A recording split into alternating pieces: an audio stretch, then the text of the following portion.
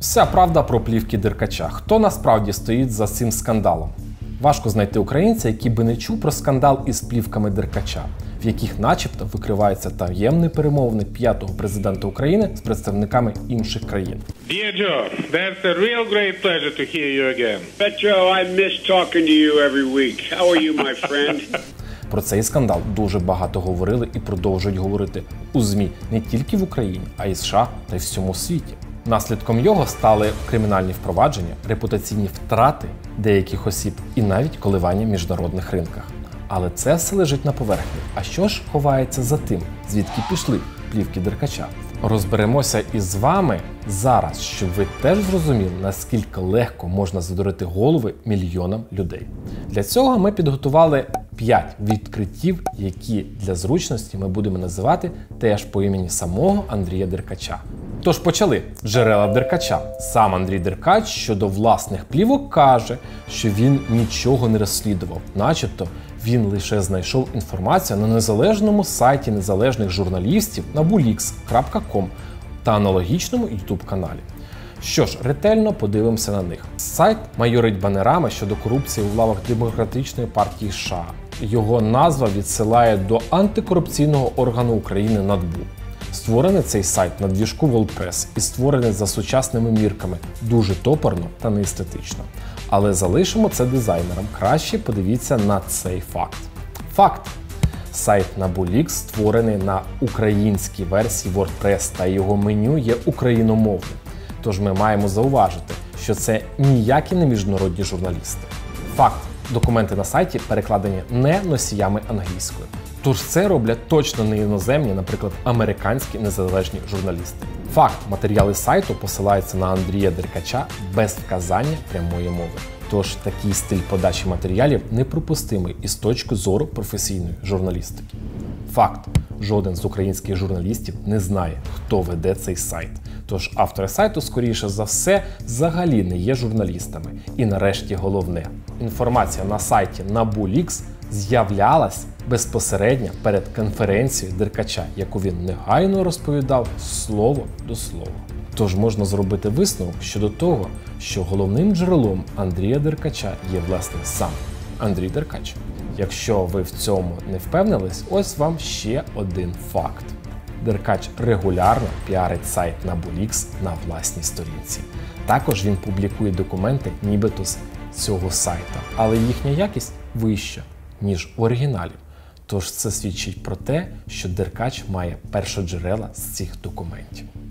З походження плівок Деркача зрозуміло, але кажуть, що інформація на цих плівках підтверджують і інші джерела. Частина друга партнери Деркача. Головним міжнародним партнером, який нібито підтверджує діяльність плівок Деркача, є Шанель Ріон, журналістка каналу One American News. Вона стверджує, що в неї є наявності багато розмов Порошенка і Байдена. Але ж що вона розповідає насправді? Усі публікації Шанель Ріон посилаються виключно на інформацію, розповсюджену на Булікс та Деркачем. Тож жодних додаткових підтверджень дійсності плівок в неї немає. Факт. Шанель Ріон публікує інформацію майже одночасно або з невеликою затримкою після самого Андрія Деркача. Тож вона посилається виключно на самого Деркача і просто ретранслює його інформацію англійською мовою. Факт. Шанель Ріон використовує аудіодоріжки безпосередньо з каналу на Bulix. Тож вона жодним чином не є якимось першоджерелом отриманої інформації. А тепер факти про тісний зв'язок Деркача з країною окупантом. Факт: Андрій Деркач писав листа патріарху Варфоломея, щоб ПЦУ не отримало Томосу. Тож Андрій Деркач хоче, щоб Україна не мала власної незалежної від Москви церкви, але його зв'язки в РПЦ МП достатньо сильні і без того. Факт: Андрій Деркач був одним з кількох мирян, яким дозволили прийняти участь у виборах патріарха РПЦ Кирила. Тож Андрій Деркач має вплив на РПЦ та підтримку звідти. Факт. Андрій Деркач був єдиним політиком, який разом із Путіним прийшов на чай до митрополита Володимира у 2004 році. Тож Андрій Деркач тісно пов'язаний із російською церквою, та його не цурався нинішній президент Російської Федерації, допускаючи до свого оточення. Але його друзі не тільки російські церковники, а ще й олігархи. З Лухівського району, про котрий ми розповімо вам трошки пізніше, більшість сировини надходить таким російським мільярдерам, як Володимир Лисін та Олег Дерипаска. У 99-му році Олег Дерипаска та Андрій Деркач разом звільняли з посади директора Миколаївського глиноземного заводу. Тож ці люди точно знайомі дуже довго. Більшість сировини із глухівського кварцитного кар'єру скуповується саме Дерипаскою. Тож в них є прямі бізнес-інтереси у партнерстві. Ще один цікавий партнер Деркача це Константин Кулик, колишній працівник прокуратури та людина, що активно підтримувала справи плівок Деркача. Константин Кулик є родичем та партнером загиблого лідеру оплоту Євгенія Жиліна. Тож це є відверто проросійська особа, яка не цуралася співробітництва з сепарами. У підсумку ми маємо, що партнери Деркача, що пов'язані чи не пов'язані вони з плівками, не можуть виступати надійними джерелами інформації. А більшість з них відверто проросійські налаштовані креатури. Третя частина поїздки Деркача. З Росії Деркача пов'язують не тільки друзі, а й мандрівки, вирогідно, не для того, щоб випити філіжаночку кави. Факт у 2019 році Андрій Деркач звинуватив Віктора Пінчука в тому, що він співпрацював з КДБ. Отримати таку інформацію можливо виключно через ФСБ Російської Федерації. Тож Андрій Деркач має тісні контакти, якщо до нього попадають дані з ФСБ. Факт, Андрій Деркач дуже любить їздити в Росію. Ось графік його поїздок до Москви. Андрій Деркач не має офіційних близьких родичів в Російській Федерації, а також офіційного бізнесу. Тож пояснити його поїздки до Російської Федерації можливо тільки тим, що в нього є інтереси, які разом з завданнями вирогідно формують для нього політичні куратори та партнери. На що ж йому це, як до цього ставитись, вирішувати кожному особисто, але зрозуміло, що Деркач дуже щільно пов'язаний з Російською Федерацією в цілому, особливо якщо врахувати його партнерів та друзів. Четверта частина диктатура Деркача. Але повернемось із Російської Федерації та її функціонерів до України, а саме до Глухівського району Сумської області. Здавалось, ця область не є ані надприбутковою, ані чимось дуже цікавою для більшості українців. Але це місце це Андрій Деркач, де має найбільшу близьку владу до фантастичної та абсолютної.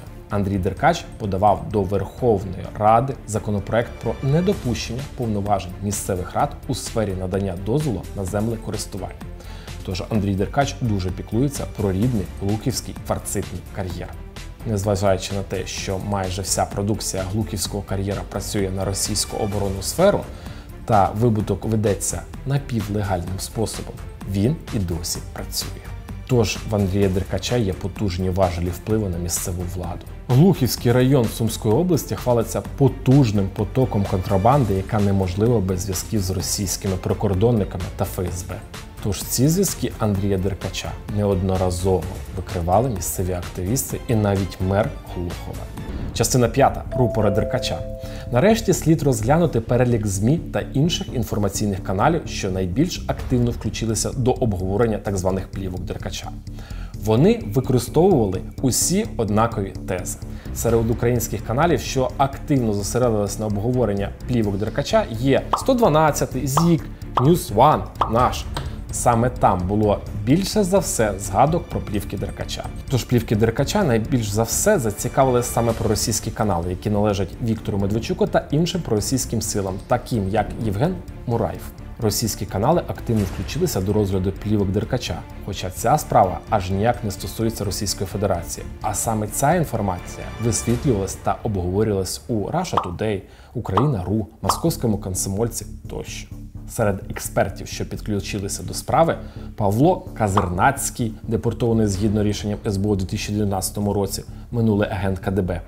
Віталій Диденко, засуджений за зберігання наркотичних речовин та сепаратизм. Артем Бузіла, засуджений за сепаратизм. Іван Мезюхо, постійний гість Russia Today. Олег Царьов, відомий ексрегіонал. Тож проросійські сили дуже сильно консолідувалися у рамках публікації даних плівок. Але слід зазначити ще один факт: останньої третьої публікації плівок Деркача, які стосувалися, начебто, перевоном Порошенка з Путіним, вище згадані медіа не привели мінімум активності. Тож ця новина вкрай ближче до Росії, чомусь жодним чином не зацікавила проросійські сили. Таким чином можна зробити висновок, що вся операція з публікацією плівок Деркача була спрямована в основному не на українську аудиторію, а на роздування конфлікту між США та Україною задля втручання в майбутні президентські вибори. Так звані плівки Деркача викликали значний резонанс та вплинули в першу чергу на репутацію одного з ймовірних кандидатів у президенти від демократичної партії. Мова йде про Джо Байдена. Якщо навіть зараз вам не вистачає фактів про причетність Деркача до російських спецслужб, ми повинні згадати один факт з його біографії. З 1989 по 1990 рік пан Андрій проходив службу в ракетних військах стратегічного призначення в Первомайській дивізії і відразу різкий стрибок в кар'єрі у 1990 по 1993 роки слухач Академії Міністерства безпеки Росії, юрист дипломна робота, організація та проведення зустрічей із негласною агентурою. Закінчив з відзнакою. Проте стара радянська істина говорить: колишніх КДБшників не буває. Які висновки можна зробити з цього? По-перше, немає жодного доказу реальності плівок Деркача, окрім слів самого Деркача. Сучасні програми можуть якісно імітувати голос. Жодного реального свідку згаданих розмов, який би міг підтвердити їхню реальність, немає. По-друге, у діяльності Деркача протягом довгого часу відслідковується прямий проросійський слід. По-третє, основний резонанс викликала публікація, начебто дійсних розмов Петра Порошенка з Джо Байденом, що свідчить про намагання втрутитись українсько-американські відносини та вибори США. Тож вирішувати, чи слід вірити плівкам Деркача, чи слід критично ставитись до них, залишається за вами. Але вірити ним можна тільки ігноруючи всі перелічені факти.